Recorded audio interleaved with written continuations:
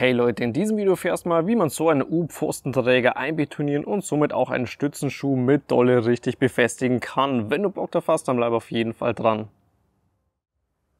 Zuerst einmal müssen wir natürlich die richtige Position von dem Pfostenschuh bestimmen. Das dauert normalerweise am längsten oder können wir entweder mit einem einfachen Meterstab mal nachmessen oder was ich auch empfehlen würde, dass wir uns wie in einem extra Video gezeigt mal so eine Richtung hier ordentlich spannen und zum Beispiel auch 90 Grad Winkel abstecken. Und wenn wir das alles richtig gemacht haben, dann ist auch noch wichtig zu sagen, dass wir uns Gedanken machen müssen, wo später bei diesem Pfostenschuh auch die Kräfte darauf wirken. Bedeutet einfach, wenn wir zum Beispiel einen großen Sichtschutzzaun aufstellen und dieser Sichtschutzzaun würde mal mal in diese Richtung verlaufen, dann hätten wir später natürlich auch ordentliche Windkräfte von dieser Seite hier. Und diese Windkräfte müssen irgendwie aufgenommen werden. Deswegen müssen die Laschen, wie hier gezeigt, am besten so stehen, dass da die Kräfte gut aufgenommen werden können. Und würde das Ganze nämlich so rumstehen, dann würde unser Holzpfosten danach einfach viel weniger Kraft aufnehmen können.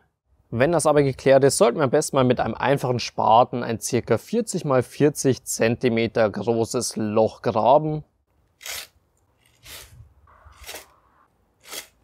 Und das Loch werde ich jetzt mal circa 60 cm tief ausheben. Das hat einfach den Sinn, dass ich ganz unten circa 10 cm Frostschutz Kies haben möchte, dass unter dem Beton das Wasser später auch ordentlich ablaufen kann und da einfach nicht irgendwie etwas auffrieren kann. Und drüber kommen dann noch circa 50 Zentimeter Beton. Wichtig ist nämlich auch noch zu sagen, dass wir für die beste Stabilität bitte zwischen Beton und Unterkante von diesem Pfostenschuh nicht mehr als 5 Zentimeter haben sollten.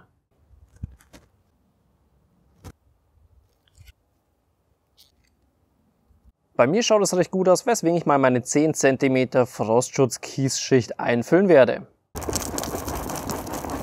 Danach alles gut verteilen, dass unsere Schicht natürlich auch in etwa eben ist. Und falls bei dir die Erde darunter übrigens relativ locker ist, dann könnten wir auch noch mit so einem Handstampfer das Ganze etwas davor begradigen. Natürlich könnten wir zum Beispiel auch einfach einen Pflasterstein zur Hand nehmen und hier unten ein paar Mal reinschlagen.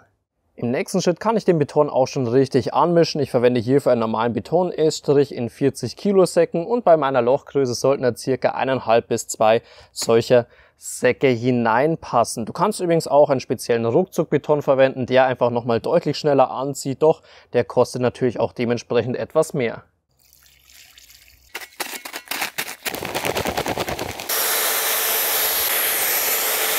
Die Konsistenz schaut auf jeden Fall super aus. Das Ganze könnte übrigens auch noch etwas flüssiger sein, da es eh hier unten nur verlaufen muss. Und dann gebe ich es auch schon mal in das Loch hinein.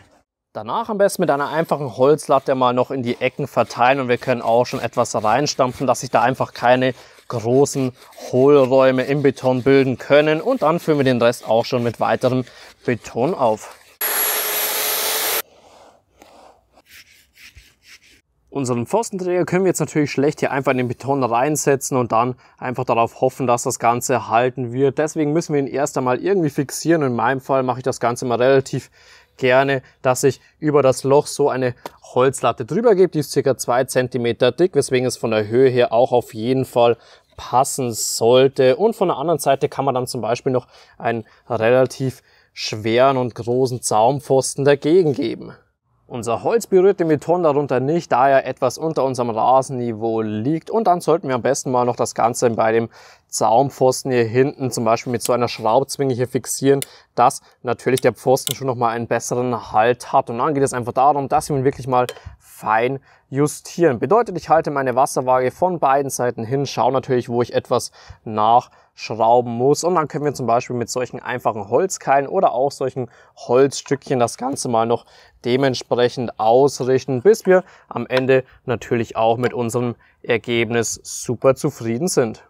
Die Flucht sollten wir natürlich auch überprüfen. Nicht, dass unser Pfostenschuh am Ende zu den anderen irgendwie schief steht. Wie gesagt, ich bin ein großer Fan von so einer Richtschnur ziehen. Dann kann man sich an der auch super orientieren. Und am Ende sollten wir das Ganze einfach mal für mindestens 24 Stunden so stehen lassen, dass der Beton schon etwas anziehen kann. Und am Ende, wenn du hier einen Holzzahnpfosten draufgeben möchtest, kann ich dir noch den Tipp geben, dass du davor bitte unbedingt zum Beispiel so einen kleinen Abstandshalter hier drunter legst, den Holzpfosten drauf gibst, von außen natürlich ordentlich befestigst und auch schön im Wasser ausrichtest und am Ende dann dieses Abstandsteil hier wieder rausziehst. Das hat einfach den Sinn, dass der Holzpfosten am Ende nicht hier unten auf unserem Eisen drauf liegt und wenn es zum Beispiel regnet, kann sich hier auch kein Wasser stauen und der Holzpfosten kann von unten einfach nicht zum Gammeln beginnen. Und somit haben wir auch schon so einen U-Pfostenschuh richtig einbetoniert. Wenn du dir für zu Hause so einen Pfostenträger, hier eine kleine Wasserwaage oder natürlich auch solche Holzkeile zulegen möchtest, dann am besten einfach mal unterhalb des Videos in der Videobeschreibung auf den entsprechenden Link klicken und du kommst direkt zu den Produkten auf Amazon vom Markenhersteller. Falls dir das Video gefallen und auch weitergeholfen hat, kannst du mir gerne einen Daumen nach oben geben und es einmal unter dem Video in die Kommentare reinschreiben. Außerdem kannst du meinen Kanal noch hier oben kostenlos abonnieren, um kein neues Video mehr zu verpassen.